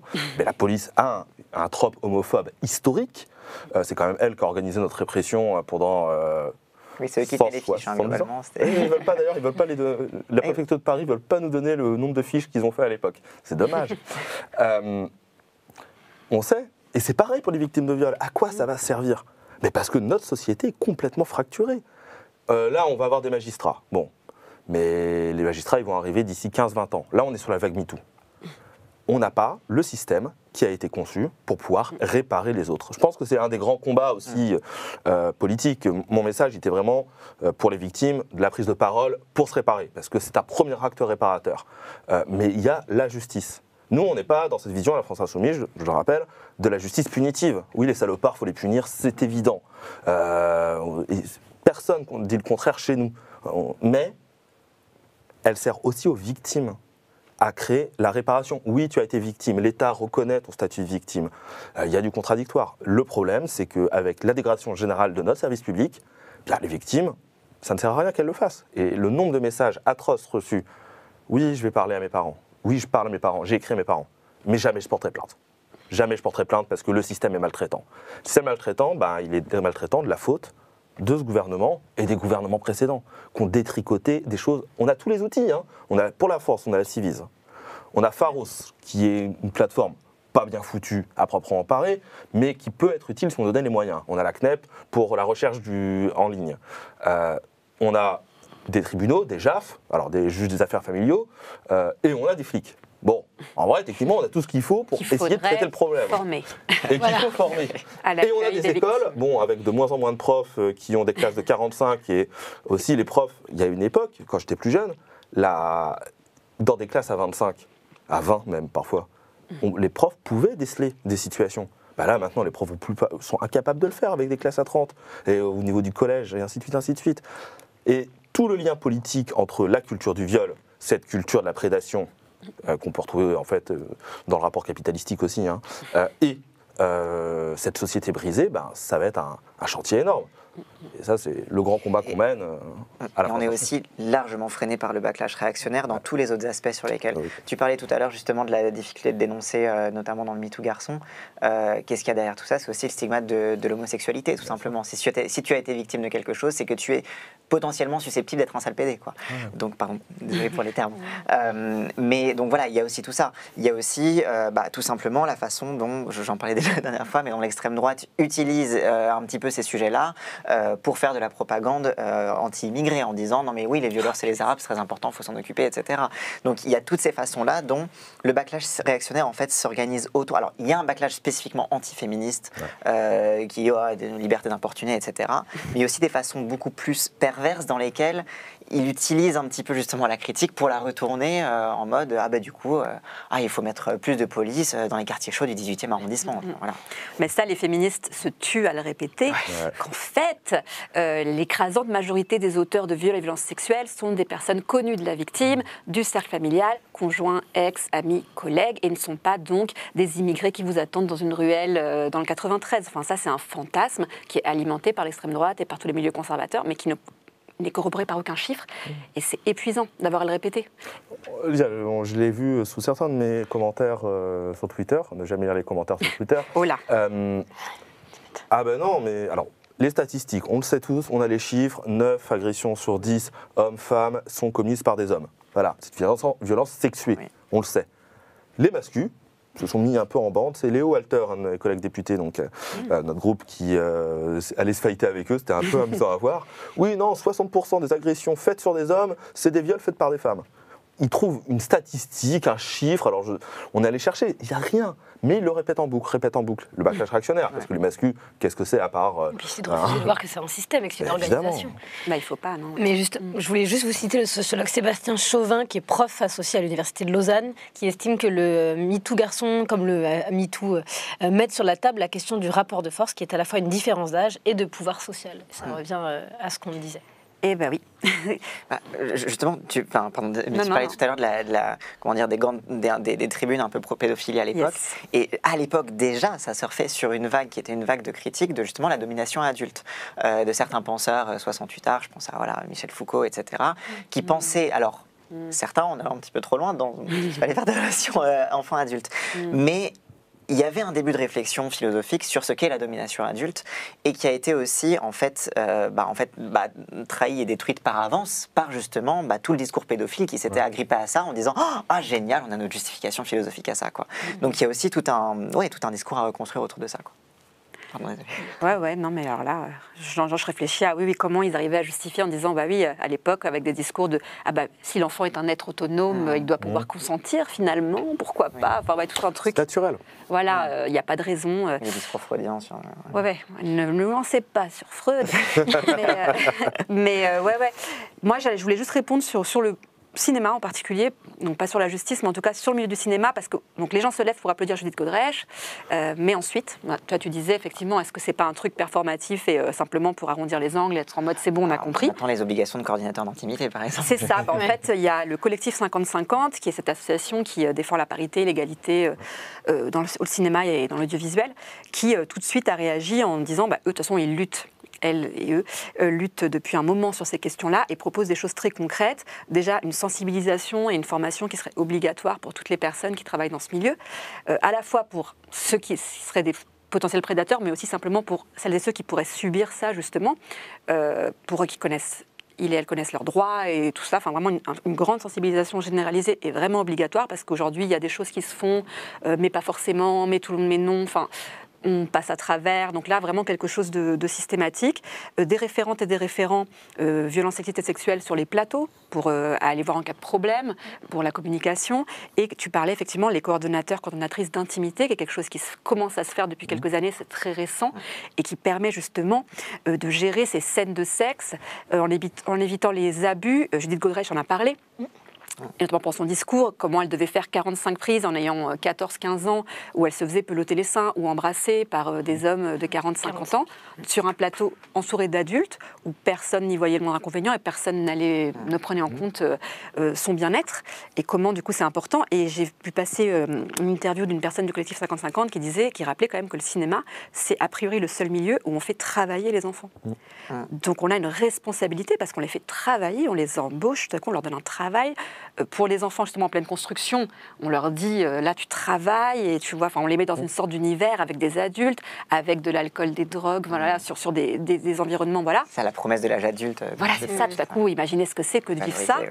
avec en plus la célébrité à la clé et tout. Et donc voilà, comment on est responsable de les protéger sur les plateaux. Donc il faut vraiment prendre des mesures très concrètes, donc applaudir, dire je le soutiens. Voilà, bientôt ils auront un petit pins sûrement. euh, En fait, c'est ça, c'est que c'est une question de droit du travail au final. Quoi. C'est, Ouais, enfin, on y revient de aussi, protection, euh, de protection, euh, sur, sur le travail. ouais. Alors, on arrive à la fin de notre partie sur cette euh, séquence. Merci beaucoup, Juliette. Je te libère. Merci beaucoup, c'était trop cool. Et euh, bah, de toute façon, je te réinvite euh, mardi prochain. Donc je te... Je reviens mardi prochain. Voilà, pour une émission euh, sur le 8 mars, c'est une émission féministe. Yes. Voilà, Merci. merci beaucoup. Merci.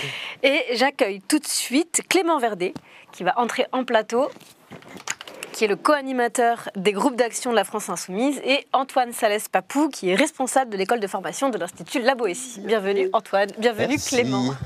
tu peux fermer la porte si tu veux. Merci beaucoup. Vous découvrez notre nouveau plateau. Non, vous êtes passé. euh, C'est magnifique. Voilà. Merci beaucoup. Bienvenue Clément. Alors, euh, on a appelé cette partie euh, Ton oncle raciste vote, inscris-toi. on est donc à 5 mois des élections européennes et il y a plus de 10 millions de Français qui risquent de ne pas pouvoir voter aux élections parce qu'ils sont mal inscrits ou non inscrits sur les listes électorales. C'est un chiffre alarmant qui a fait l'objet d'un courrier adressé par Manuel Bompard à euh, Darmanin qui a souligné l'urgence d'une campagne nationale d'inscription sur les listes électorales. Or, aucune initiative, évidemment, n'a été entreprise par le gouvernement qui n'a aucun intérêt à ce que les citoyens se saisissent des armes qui pourraient les faire dégager. Donc la France insoumise, elle prend toute sa part à la bataille pour le réarmement civique. Clément, je rappelle que tu es le co-animateur donc avec Alexandra Mortet du, pôle des groupes d'action de la France insoumise. Est-ce que tu peux nous parler de la campagne d'inscription sur les listes électorales, sur les listes électorales lancée par la France insoumise? Alors oui, bien sûr. Euh, je vais d'abord peut-être revenir sur euh, quelques chiffres. Bon, tu les as dit déjà, mais tu as raison de rappeler qu'il y a environ 10 millions de personnes qui sont mal inscrites ou non inscrites sur les listes électorales.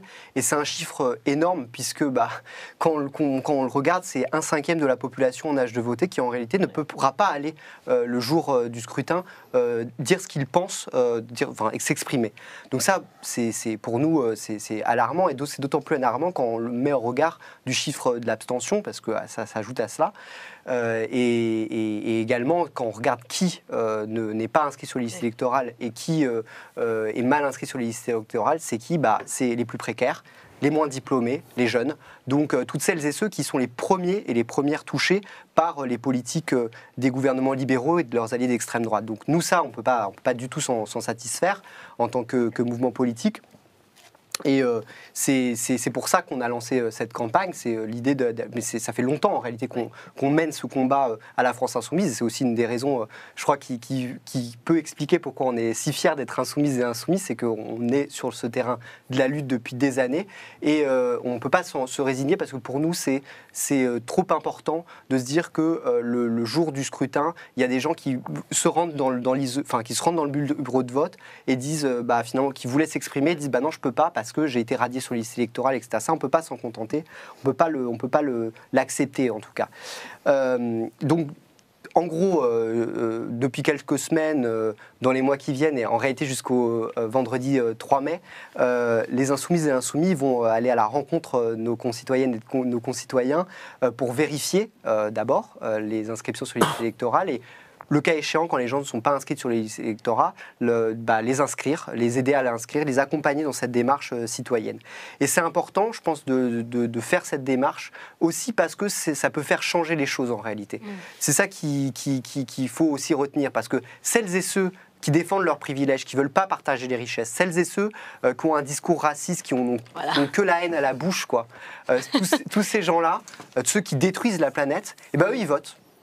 Euh, mais toutes les personnes qui, euh, elles, euh, bah, en ont marre de, toutes les politiques qui les affectent, qui en ont marre du racisme ambiant, qui en ont marre de voir le rien, le, le, fait que l'abandon des pouvoirs publics concernant la question écologique, bah, tous ces gens-là, bah, ils, peuvent en fait, ils peuvent transformer leur colère dans l'urne, ils peuvent y aller. Et euh, donc dans ces cas-là, il faut aller les inscrire sur les listes électorales, les aider, euh, pour qu'ils puissent faire en sorte de nous donner de la force. Euh, en tant que, mouvement parce qu'on les défend tout simplement. c'est nous qui portons le, programme qui, qui, les défend et on peut, on peut y arriver.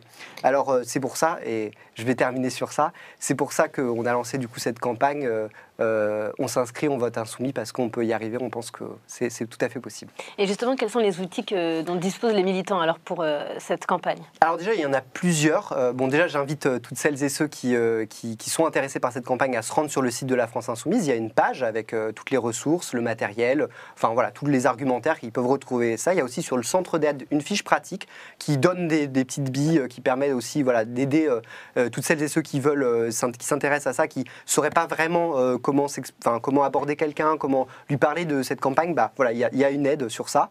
Et il y a également euh, des outils qu'on avait déjà, mais qui ont été euh, développés.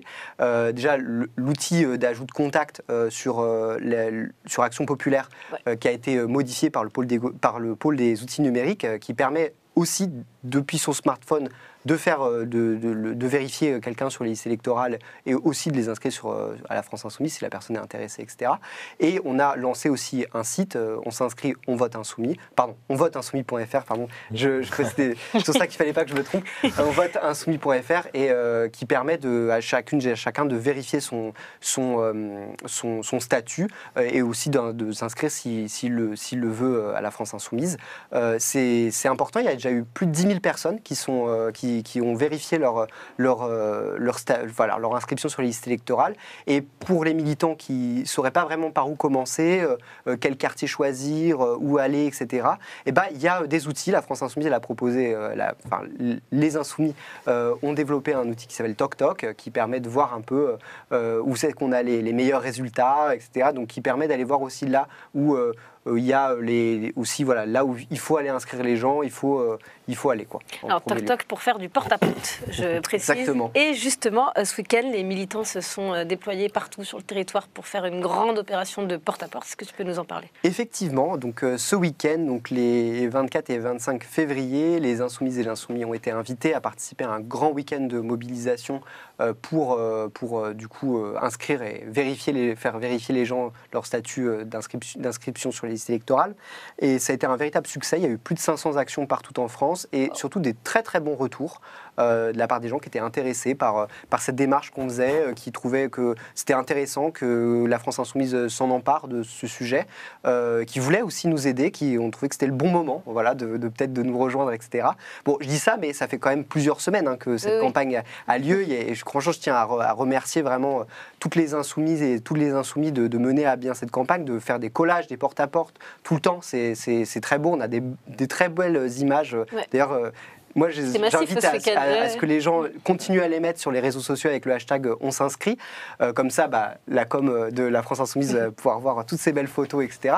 Et je le dis un peu en avant-première, le, 23 et le 24 mars, donc dans près d'un mois, il y aura un nouveau week-end de mobilisation. Bon, ça ne veut pas dire qu'on fait rien en attendant, on continue, mais on va essayer de mettre le paquet aussi sur ce, sur ce week-end. C'est une semaine après la convention de l'Union populaire qui aura lieu le 16 mars. Voilà. tu as tout dit. Est-ce que vous avez un mot à dire sur cette campagne? Vous l'avez vu euh, passer Vous avez fait des porte-à-porte euh, Non ah, Si, si, si. Euh, ça marche en fait. le rôle historique qu'ont les insoumis, c'est à la fois d'être l'acteur politique que nous, que nous, on représente à l'Assemblée, mais aussi cet acteur de la société. Et à l'élection présidentielle, moi, un des trucs que j'avais, c'était la deuxième que je faisais. Je n'ai pas fait 2008, euh, euh, même si j'étais 2007, même si j'étais, j'étais un peu jeune, mais c'était le début quand même. Mais 2017-2022, j'ai regardé dans ces quartiers pop, on a fait ces tables d'inscription euh, et cette surprésence aussi sur l'accès aux droits, via les caravanes populaires et ainsi de suite. ça marche. Alors oui, mais ça peut gagner 2-3% de participation parce que les gens sont informés. Et ces 2-3% de participation, bizarrement, quand ça vient du monde populaire, ça vote insoumis. Mm. Donc, euh, bah, les copains euh, militantes, militants, allez-y, là, euh, on a un, quoi, deux mois, c'est ça? Je suis ça en mai, 3 mai, fin des inscriptions en mairie, 1er mai, fin d'inscription en ligne. 3 mai. voilà, mm. parfait. Écoutez Clément. mais allez-y, allez-y, parce que notre force politique, c'est cette mobilisation populaire. Donc, on s'inscrit, on vote insoumis. Antoine. Oui, bah, moi aussi j'ai remarqué ce week-end qu'il y avait une énorme mobilisation. Euh, parce qu'on le voit nous aussi à l'Institut Labo ici à travers bah, tous les élèves euh, qui ont fait les cursus renforcés, qui nous envoient les petites photos, les petits machins de, des, des, actions qu'ils font. Mais ce que je voulais rajouter en fait, c'est que cette campagne, elle est quand même au cœur de la stratégie insoumise, c'est-à-dire d'aller chercher le quatrième bloc euh, des abstentionnistes pour construire la majorité populaire. Parce qu'on se rend compte en fait, quand on étudie un peu les, les données électorales, que le système il repose sur une sorte de suffrage censitaire qui, qui ne dit pas son nom. Euh, vous vous souvenez sûrement autour de cette table qu'en septembre, on a fait un, événement euh, à l'Institut La Boétie avec euh, Thomas Piketty et, et Julia Cagé, que Julie avait brillamment animé d'ailleurs. Et ce qu'on avait montré, entre autres, c'est la divergence des courbes de participation entre les riches et les pauvres, en gros. mais on avait aussi montré que ça n'avait pas toujours été le cas. En fait, c'est un phénomène qui, depuis 40 ans, croît. Mais en fait, il y a eu une période en France, la période où on a construit la sécurité sociale, on a construit les grands services publics de ce pays, où ben, les classes populaires, les milieux populaires, ils votaient autant que, autant que les riches. Il y avait une, une égalité en termes de, mobilisation euh, électorale. Donc, je pense que c'est une des tâches principales, nous qui voulons vraiment euh, transformer le monde, et pas simplement euh, gagner une élection pour gagner une élection, mais vraiment transformer le monde, que de ramener cette mobilisation électorale populaire au même niveau que celle des, des classes qui profitent du système. Non, mais enfin, surtout, enfin, moi, ça m'étonne pas qu'il y ait autant de monde qui ait, qui ait fait cette action-là, parce que moi, je me rappelle quand j'ai commencé à militer, c'est une des premières actions que j'ai faites, d'ailleurs, c'était le lever des caravanes. Ouais. Et, euh, et enfin, on, on sent. On a l'impression de servir vraiment à quelque chose. Enfin, je dis pas qu'on sert, à Non, non, rien d'habitude, tu je vois, mais il y a un truc en termes de. Comment dire En termes de contact, en termes d'aspect concret politique. euh, c'est important de, de faire les tractages sur les marchés, etc. Mais il y a un, un contact humain qu'on a quand on fait ses porte-à-porte, quand on parle concrètement d'inscription sur liste électorale, d'accès aux droits, etc., euh, qui, qui, qui, est, enfin, qui est incomparable. Quoi. Bah, Donc c'est- surtout aussi des gens qui nous invitent dans leur intimité, qui nous parlent de leurs ça. problèmes. Et euh, quand Mm. on y va en journée, bah, il y a beaucoup de, de chômeurs, par exemple, ou il y en a qui ont, qui ont des problèmes de santé, des problèmes familiaux et tout. Donc en général, c'est assez euh, sensible aussi. Moi, je suis d'accord avec ce que dit Cassandre, ça, ça redonne beaucoup de pouvoir d'agir aussi. Mm. Ça, c'est hyper important euh, de, le présenter aussi comme ça, parce que euh, la, France Insoumise, c'est un mouvement qui se veut utile tout de suite et concret dans, dans son militantisme au quotidien. Donc, euh, effectivement, c'est central qu'on fasse cette campagne et je pense que on va, on va bien la réussir en tout cas. En tout cas, on vote insoumis.fr. voilà. et on va sur le site commander les, les affiches et le matériel. Euh, et ce week-end, il y a aussi eu euh, les stages régionaux de l'Institut La Boétie. C'est l'occasion de parler aussi de l'Institut La Boétie, dont tu es le responsable de l'école de formation de l'Institut La Boétie, Antoine. Je vais citer pour commencer le, ce qu'il y a écrit sur le site de l'Institut La Boétie. Part- euh, L'Institut La Boétie, je vais appeler l'ILB, parce que j'en peux plus de dire. L'ILB participe à la bataille idéologique indispensable à la construction d'une majorité populaire, tu l'as dit. Il fonde sa démarche sur un socle idéologique commun, humanisme global, planification écologique et critique du capitalisme. Et c'est dans ce cas que vous proposez du coup un cursus renforcé afin de donner des outils politiques et militants euh, aux insoumis. Est-ce que pour commencer, tu peux nous en dire euh, plus sur ce cursus renforcé avant d'aller sur les stages régionaux? Quel est le programme? Surtout quels profils aussi sont euh, dans, dans- dans les cursus? Quels profils en font partie? Si c'est exclusivement des, militants, exclusivement des Parisiens ou pas Oui, bien sûr. Ben, euh, donc, quand on a construit l'école de formation de l'Institut La Boétie, on a imaginé plusieurs euh, types de parcours, plusieurs euh, offres de formation. Et donc, il y a celle que tu évoques, qui est le cursus renforcé, qui, elle, est une formation qui est la plus ambitieuse, on va dire, la plus prenante aussi, puisqu'il s'agit en fait de 10 week-ends sur un an où des militants, des militantes de la France Insoumise se réunissent euh, à Paris pour assister à, des cours construits autour de, parcours qui correspondent un peu à ce que tu as cité. Donc il y a euh, un parcours sur l'humanisme global où on va retrouver euh, les enjeux d'émancipation, l'antiracisme, le féminisme, les enjeux républicains aussi. Il y a un parcours sur le matérialisme historique où là on va re- retrouver plus les enjeux euh, économiques et sociaux, on va dire, euh, de la société, euh, un parcours sur euh, l'ère du peuple et, et les enjeux contemporains, et un parcours sur les pratiques militantes insoumises. Donc on a des promotions de 70 euh, militants. Trois Euh, on en a trois pour l'instant euh, qui sont passés, dont une qui a terminé son, son Ouais. cursus. Comment ils sont sélectionnés? Parce que donc on est obligé de faire une sélection. On a beaucoup plus de, de 70 candidatures à chaque fois. Euh, on a eu 900 candidatures par exemple pour la troisième promotion euh, la dernière fois. On essaye justement de constituer des promotions qui ressemblent euh, le plus possible euh, à ce qu'est le militantisme insoumis et ce qu'est le, qu'est le peuple français dans, dans sa diversité. Donc ça veut dire euh, des gens qui viennent bon, de toutes les régions de France, d'un maximum de départements, des gens qui habitent en quartier populaire, mais aussi en quartier euh, rural, euh, mais aussi en centre-ville, euh, des gens qui sont euh, ouvriers employés, des gens qui sont ingénieurs, des gens qui sont chercheurs, des gens qui ont eu accès à des, des études supérieures, d'autres euh, qui, qui n'ont pas eu accès à des, études supérieures, qui sont arrêtés au baccalauréat euh, par exemple. Voilà, pour avoir cette diversité euh, dans euh, les cohortes qu'on forme, parce qu'on pense que c'est important euh, ben, pour la stratégie d'enracinement de la France insoumise que d'avoir partout voilà, en fait, des insoumis qui sont capables de mener au goutte à goutte, de manière massive, la bataille idéologique. En plus, voilà, des contenus un peu qu'on propose, des conférences et tout qu'on propose Avec l'Institut avec l'Institut La Fondation, Boétie qu'on peut retrouver sur euh, notre site internet, sur notre, sur notre chaîne YouTube. Voilà, notre but c'est aussi de massifier cette bataille des idées à travers cette école euh, de formation. Euh, et donc ça c'est le cursus renforcé. Donc on lance une promotion tous les, tous les six mois. Euh, donc la prochaine on lancera le processus de sélection en juin, juin, juillet, voilà, pour un début en septembre. Et ce week-end du 24-25 février, il y a 100 militants et militantes de l'AFI qui ont réalisé un stage régional de formation à Caen et à Lyon, organisé par l'ILB, au programme matérialisme historique, planification écologique, études de théorie de l'ère du peuple, mais aussi euh, rencontres et formations militantes. Pourquoi avoir mis en place ces euh, stages régionaux? Est-ce que c'est pour rendre accessible la formation à des personnes qui ne peuvent pas forcément se rendre à Paris, par exemple? Bah oui, tout à fait. C'est l'idée, c'est voilà, c'est le deuxième étage de la fusée, c'est que le cursus renforcé, bah, on est bien conscient que tout le monde ne peut pas le faire. C'est, ça demande beaucoup d'investissement.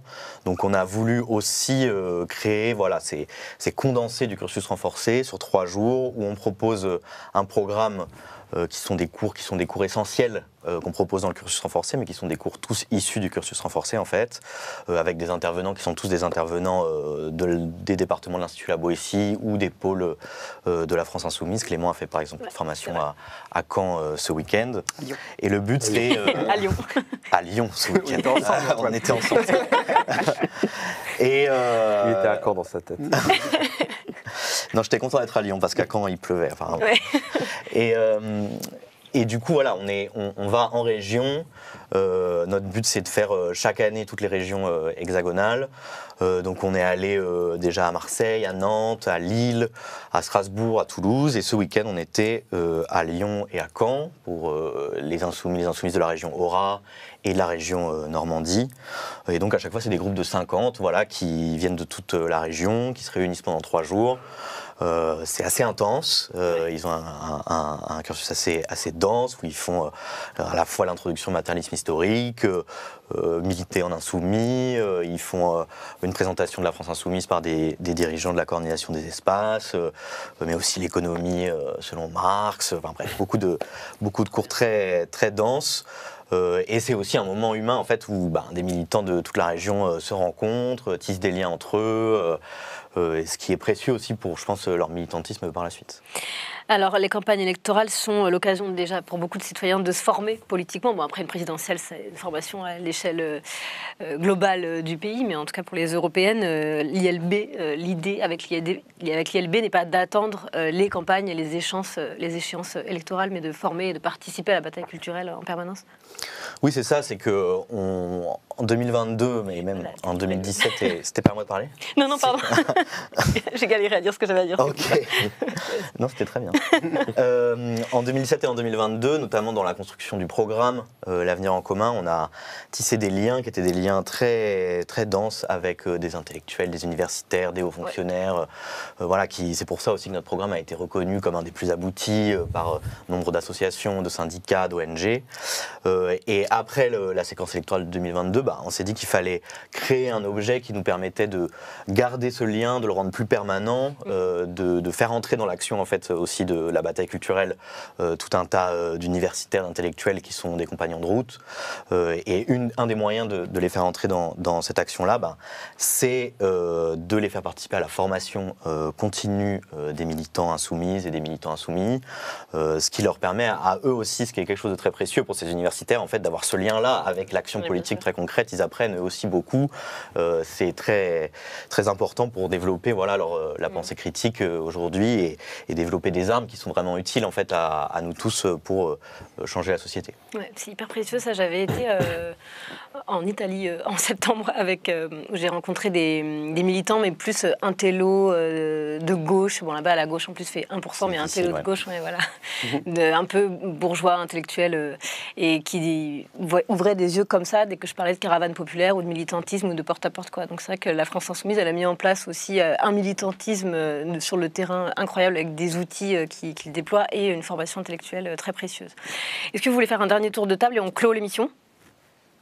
Où tout est dit, ça fait plaisir aussi un peu de retape euh, insoumise en dernière partie. si moi j'ai une question, pourquoi vous avez enlevé les golfeurs là C'est vrai, pourquoi ils sont pas en plateau Trop bizarre. Les riches et les racistes, ils, sont où les golfeurs bah, il y a des... en fait, le truc c'est que dans l'idée, euh, il y, a, y, a, y, a y, a, différentes euh, affiches qui existent. Il y a les riches votent, les racistes votent, les golfeurs votent. Pourquoi les golfeurs? Bah aussi parce que bon, c'était sur la question un peu écolo aussi, genre le, enfin l'eau qu'on utilise. Je pense notamment aux camarades des de, de, enfin des territoires ultramarins, qui, euh, qui euh, en fait, eux, bah, la question des golfs, c'est une vraie question en fait. Euh, on décide de mettre de l'eau euh, quelque part plutôt qu'ailleurs, alors que parfois bah, il en manque.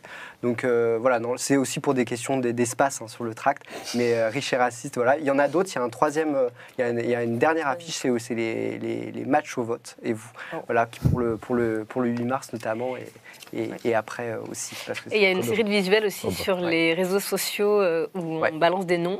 Oui. Alors Bolloré vote et vous. euh, Pascal Pro, Pascal vu Pro aussi. vote. Pas mal. Et vous Eh bien, merci beaucoup d'être venu sur le plateau de de l'émission populaire. Merci. Et merci à toute l'équipe aussi pour la création de ce magnifique euh, nouveau plateau. Le but à, à terme, c'est de faire euh, un plateau un peu plus ovale pour qu'on puisse se mettre autour de la table et on discute avec plein de gens. Voilà. Hâte de voir ça. Merci beaucoup. À mardi prochain, même heure, même lieu. Ciao.